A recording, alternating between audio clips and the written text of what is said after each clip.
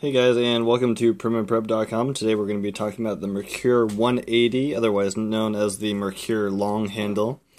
And it got its name because it has a really long handle, obviously. Uh, it does look like the Merkur 33C or the Merkur Classic, and I'm pretty sure it has the exact same headpiece. And the handle is just a little bit longer, so it has more of this gritty metal covering the handle because it's longer as the 33C does and obviously it's a little bit heavier because it has a longer handle. But let's talk, let's jump right into it and talk about it.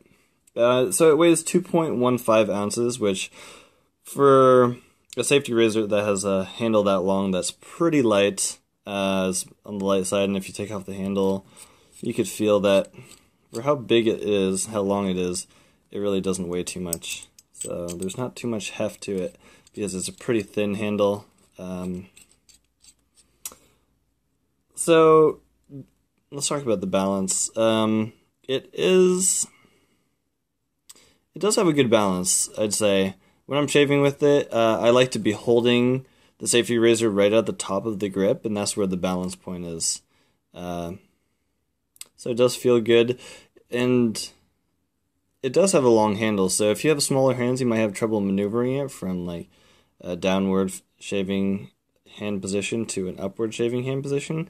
I have fairly large hands, so I have no trouble getting getting it past that thumb and index finger point as I'm switching it around with one hand. But people with small hands do have trouble. Um, I've talked to friends and read online that people think the handle's too long for them, and that's just personal preference, how big your hands are, and how it feels in your hand. Um, for me, I like it. Um, and I have large enough hands to handle it. Let's talk about the grip. It does have the same gritty metal as the 33C, uh, 34C, um, and actually it kind of looks like the 34C. If you if you watch my review on the 33C, they both looked like the 34C. When it came, I thought this bottom piece was a knob that you could turn, uh, but it's not. But it does, since it does protrude and have this gritty metal at the bottom, I really like that. Uh, either have your pinky on it or your pinky on the bottom. Either way, you know where the end is, and it'd be hard to slip out. Even if you got, if you slipped out of this gritty metal right here, you'd probably catch yourself here. Um, you know, the grip is top of the line. This gritty metal is really can't be beaten by any other uh, type of grip, in my opinion. Uh, in terms of aggressiveness, I rated the 33C um, about a, a 6, and I'd say this is a little bit less aggressive just because it has extra weight. Uh, you don't need to put too much pressure on it, you can just let the weight fall. Even though it's not a very heavy safety razor, it's um, less aggressive than the 33C, in my opinion. Uh, blade replacement is just a typical three piece design, very sturdy, just like every Mercury I've ever purchased. And let's just throw in a blade real fast. I'll show you the blade gap. Obviously, if you've ever owned a three-piece, you know it's not that difficult. Just keep your fingers on the side and be careful. You should be just fine. So cool, yeah, if you could see the blade gap right there, um, you know, a good amount of the blade is exposed in SYA. It does feel aggressive to me, also because it doesn't weigh that much. But just as I was talking about with the 33C, if you just takes a little bit of practice with a little bit more aggressive safety razors to get used to it.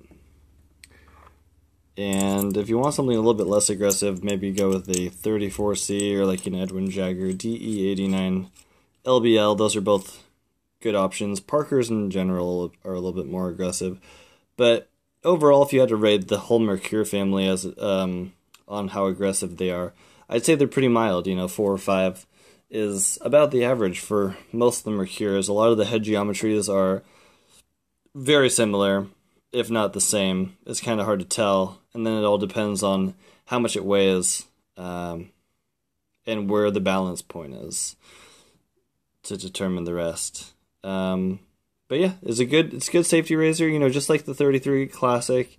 Um, if you just want something, if you like the classic, but you think the handle's a little too short, this would be a good option for you. I'd go with the 180 long handle. I'm not sure why they called it a 180. They were sticking in the 30s with like 34C, 33C, 39C, 37C, and then they just jumped to 180. Uh, I don't know why they did that. But um, yeah, it's very basic, simple, clean, sturdy design. Uh, you can't really go wrong with it. Um, you know, it's kind of aggressive, but with just a little practice and technique, you should be just fine. Uh, I like using it. I use it with derbies often uh, because with feathers I could get. I got to be really careful. Um, ho hopefully you guys liked my Merkur 180 long-handled review, guys. Uh, leave a comment down below if you have any questions, or head over to primandprep.com. The written article should have a little bit more details on it. Uh, I'm sure I was forgetting something as I was doing the video review. I thought I covered my bases though. Uh, head over there for more male grooming tips, uh, reviews, and other cool stuff. Thanks, guys. Bye.